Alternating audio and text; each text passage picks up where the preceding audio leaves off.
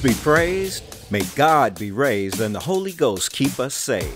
In the name of the one true Lord and Savior, peace to all in this dimension. This is Gary 7, EA this time, Electric Apostle, that is, welcoming you to the church at the end of the world. The only biblically based end times channel hitting you from the timeless space between dimensions. Here we filter apparent current events shocking secrets, and media mind games through the written Word of God, aka the Bible, with a ton of research, a touch of humor, and a one of a kind style. Ultimately, through discussion, biblical analysis, and teaching, we hope to save souls from eternal flaming damnation with a smile or two. Our colorful panel of guests today is Robert, evil mutated genius Chihuahua. Hey, chill with the barking. This is a family show. Whatever. Say, we getting paid for this? And Stardust, disembodied orb encased prophetess. All glory to the Most High, the King of Kings and the Lord of Lords. Welcome to sermon number one Rapture Reality. Now, this is our first show, but judging from the sign of the times, it just might be our last. So, we wanted to try to get as many of you as possible rapture ready while there's still time.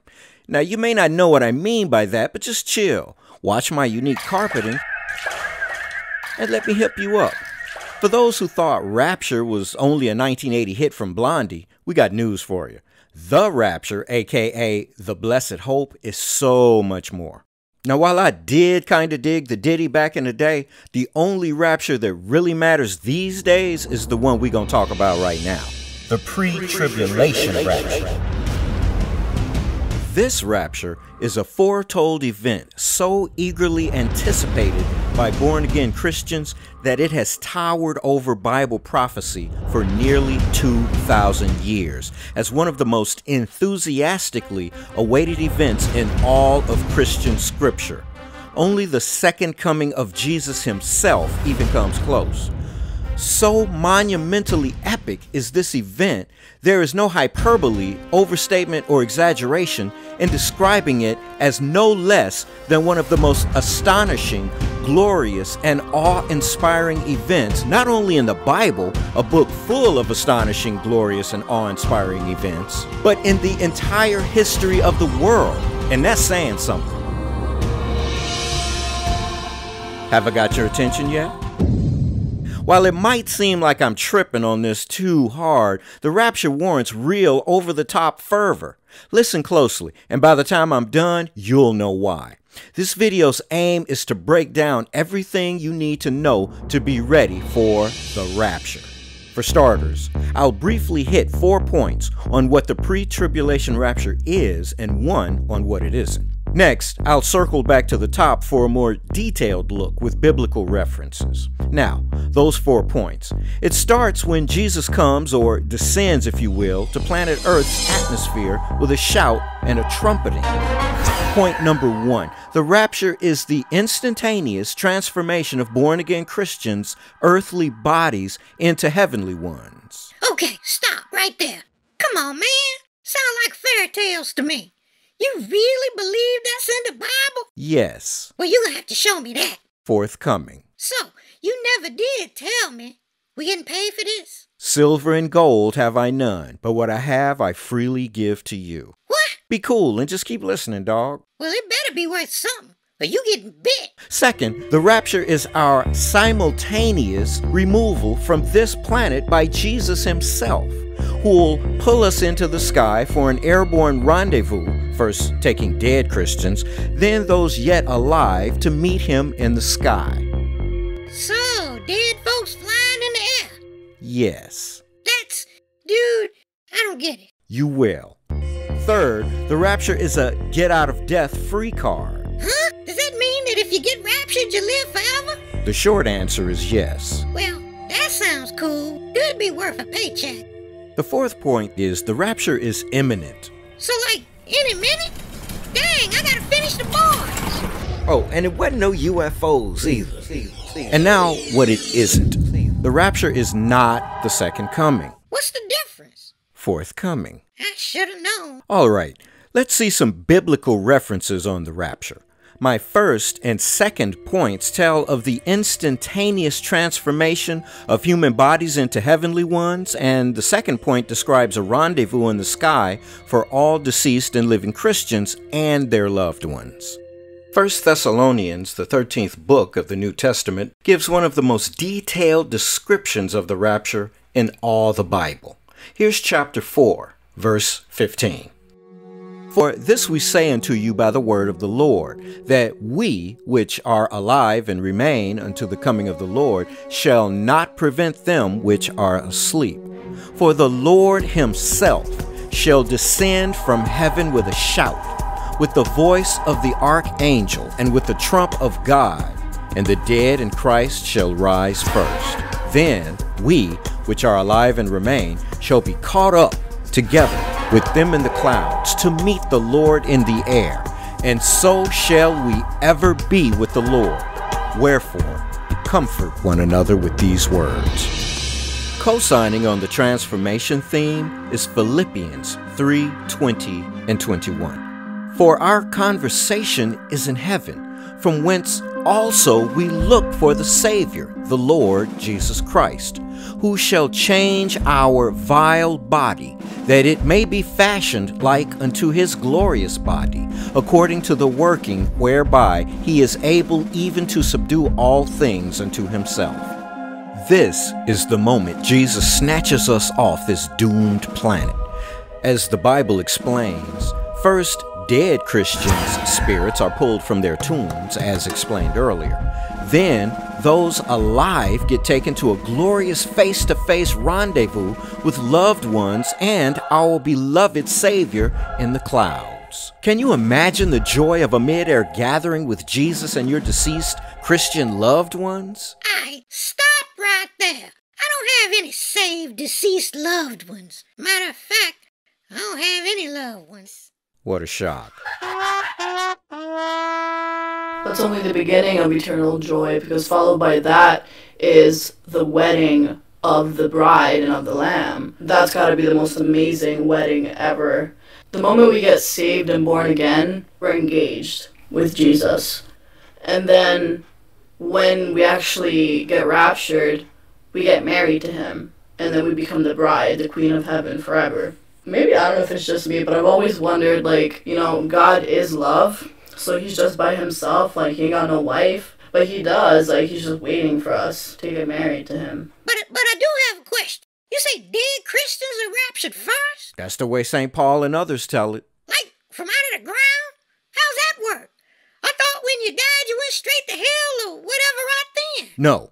When you die, you're dead until the rapture if you're a born again Christian. Or if you never accepted Jesus as Lord and Savior, you wait in a kind of soul sleep, if you can get with that term, until the final resurrection. Then those who missed the rapture and also rejected Christ will awaken from death to the great and terrible day of their judgment and subsequent sentencing to eternal damnation. what about people too young to get saved by praying? Like babies, they get raptured? Okay, despite what TV, movies, and atheists would have you believe, God is not some big cosmic jerk.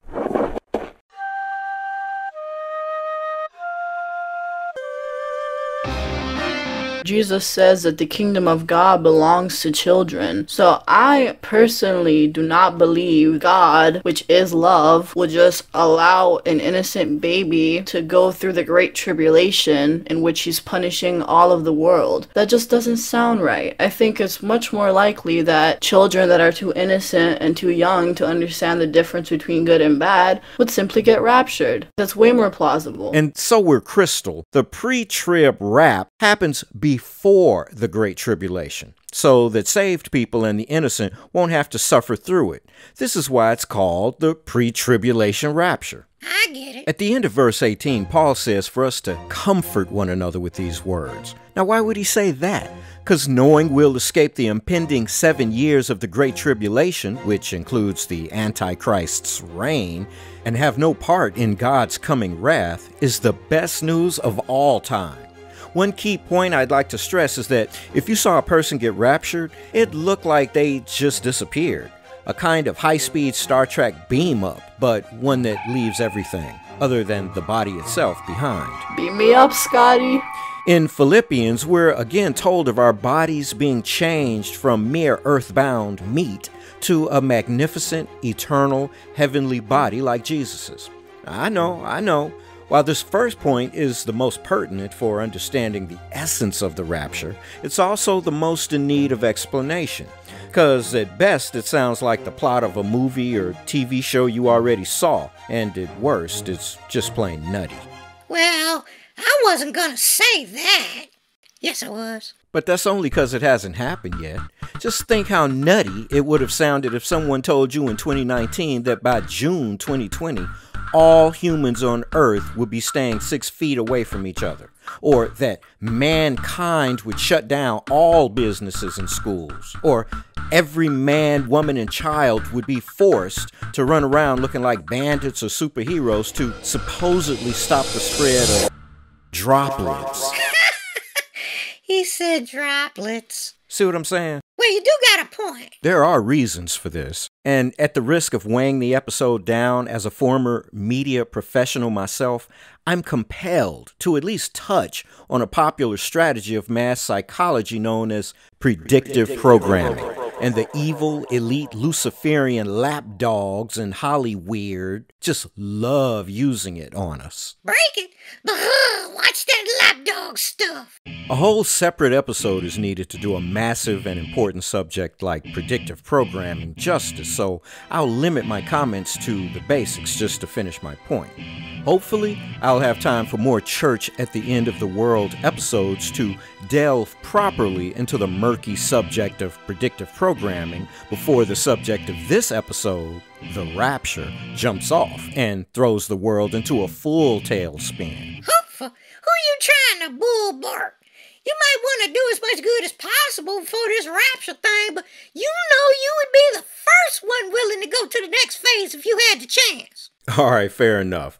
But I do still want to do as much as possible to fulfill my purpose for being created with whatever time I got left, and I hope you do too. Dude, I'll be glad just to get a paycheck. But it is true. I've been sick of this filthy, unfair, demonically ruled mud ball. I can't wait for God to snatch me up out of here. But until then, here's the short and skinny on predictive programming. Predictive programming can be defined as the conspirational implementation of various covert, psychologically tactical operations functioning to drive the belief of the masses by introducing specially selected new concepts to the global public consciousness. I know how deep that sounded, but it's not as hard to understand as it seems. Predictive programming is a psychological operation designed to preemptively indoctrinate, program, condition, and control public opinion, reaction, and behavior concerning the most important current issues and future events coming to bear on society and front loads them with whatever predetermined views and attitudes the evil, so called elite Luciferian lapdogs want people to have. Predictive programming has been done for decades and is being most successfully currently pushed through movies, television, and other forms of mass media. Of course, the channels and mediums, those satanic prophets of the electronic, spiritual, and human varieties used to brainwash those who reject the wisdom that comes with total surrender to Jesus, is not limited to mass media. Politics, public education, science, and just about every other vital social sector is being used to intellectually overpower the sleeping, mentally weak, and all too trusting masses. And of course, those who do see through their intellectually paper thin strategies and try to wake others get called crazy, selfish, and conspiracy theorists. Most of you have already been programmed by Satan's prophets for the rapture. You just don't realize it. Satan's prophets have already programmed us to believe one of the biggest lies ever shoved down mankind's throat that aliens just suddenly snatched millions. The only thing they can't control will be or was who got taken. Other than small children and the mentally disabled, the only people missing are going to be born again Christians. People are going to see that for themselves. Only the stupidest are still gonna buy their alien ascended master deceptions. But what possible reason could alien ascended masters have for only removing Jesus freaks? That don't even make sense. Oh, yes, it does. You're forgetting. Lucifer is the best liar. He's already been seeding human host mediums with demonic spirit guides that have been programming New Agers with that answer for decades, too.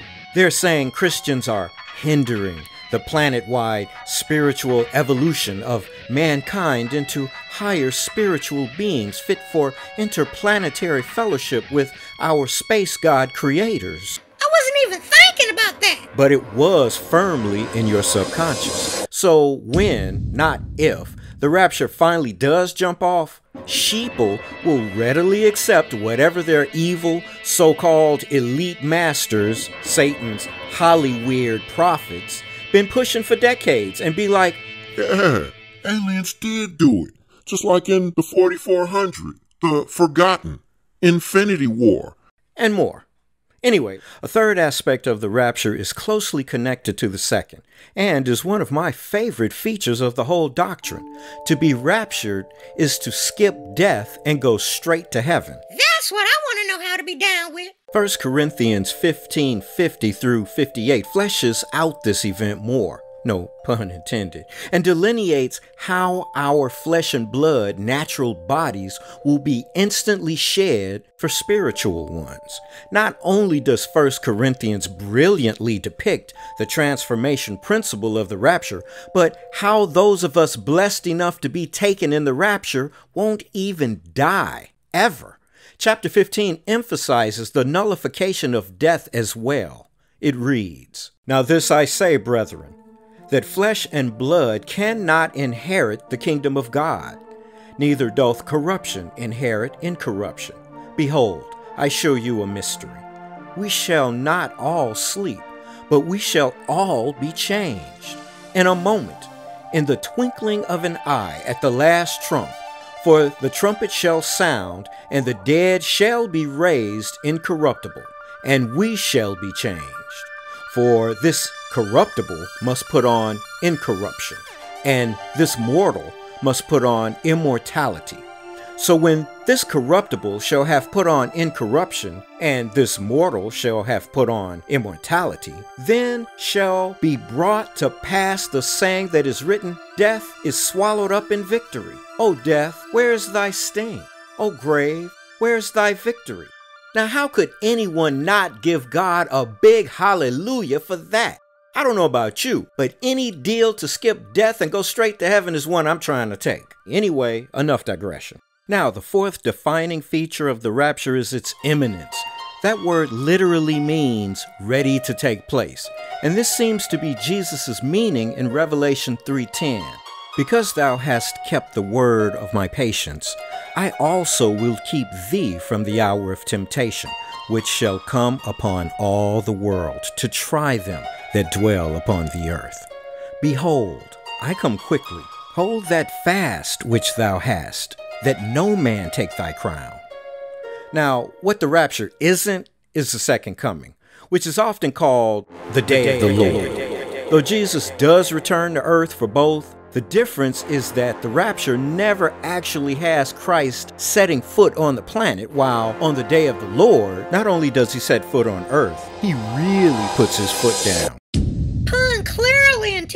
Nonetheless, these two occasions are often confused and even combined, leading many to think these two events are one and the same. The fact is, however, that even a modest review of the biblical text highlights profound differences. In 1 Thessalonians 4 14 18, we see the rapturing of Christ's believers and his return to heaven with them, thereby sparing them the horror the book of Revelation details those left on earth endure, aka the Great Tribulation. On the flip side, Jesus' much anticipated second coming not only physically places him on earth, but does so in such spectacular fashion never has its like been seen since the inception of time itself, nor will ever be again. 1 Thessalonians 5 1 to 11 explains how those Paul calls brethren and children of light and day will not be overtaken by sudden destruction and are not appointed to wrath. For God hath not appointed us to wrath, but to obtain salvation by our Lord Jesus Christ, who died for us, that whether we wake or sleep, we should live together with him. Prophecies surrounding the cataclysmic day of the Lord state that as the Antichrist's armies close in on Israel for the final extermination of God's people, just at the last moment, Israel's Messiah will appear in sky splitting brilliance, no longer the humble lamb slain for the world's sins. Jesus now finally manifests his true identity as Messiah, Lion of the tribe of Judah, to save his chosen people from annihilation. Adorned for vengeance in robes already soaked with blood, Jesus lands on the Mount of Olives, splitting it in two, one side tumbling east and one collapsing west. Leading his holy forces, the Messiah commences cutting down the Antichrist's legions as Armageddon begins. Ultimately, a conflict too brief to ever be termed a battle and a confrontation too outmatched to ever really be considered a challenge. The short lived slaughter results in the blood of the Antichrist and his worshippers spilling in volumes so prolific its sanguine depths drown men and horses alike in no less than the most savage obliteration of human life yet witnessed in mankind's entire historical chronicle of warfare. Now, Jesus finally institutes his earthly millennial rule as King of Kings and Lord of Lords of this world. Wow, harsh that day of the Lord, huh? So, look, easy way to remember the difference in Jesus' moods on the two given days. Rapture, Bob Ross. Day of the Lord, Thanos. How about that? Oh, for sure. As the sun sets on humanity, we look around and every day feels increasingly like life's slipping into a real life nightmare. That's because life is slipping into a real life nightmare. We're trapped in an upside down triple crossover episode of a horror show no one wanted to star in The Twilight Mirror, The Outer Zone, The Black Limit.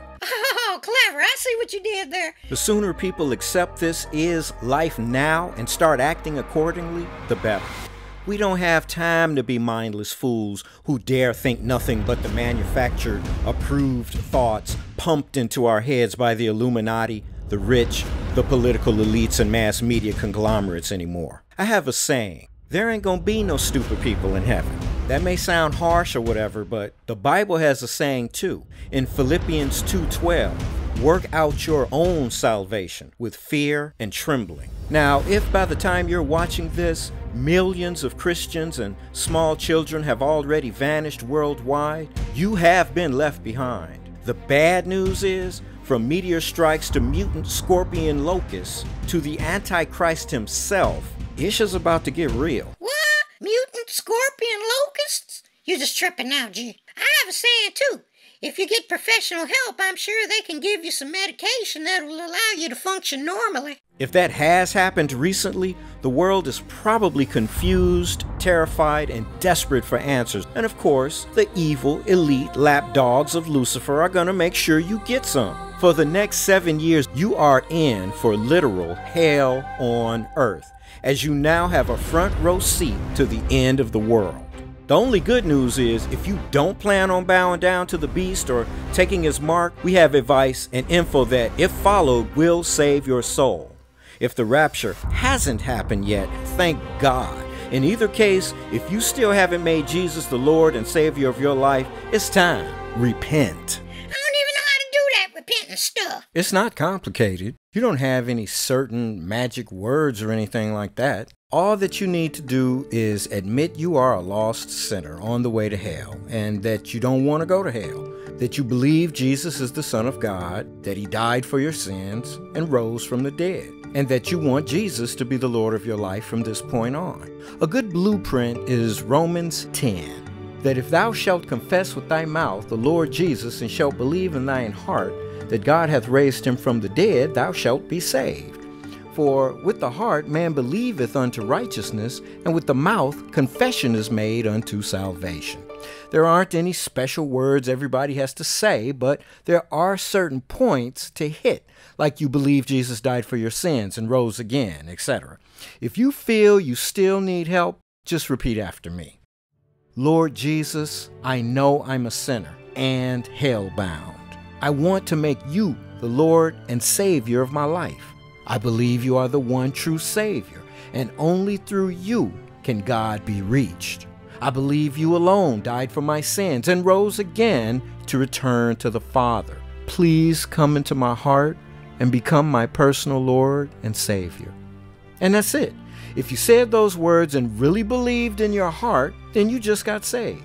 Now you're a born again Christian.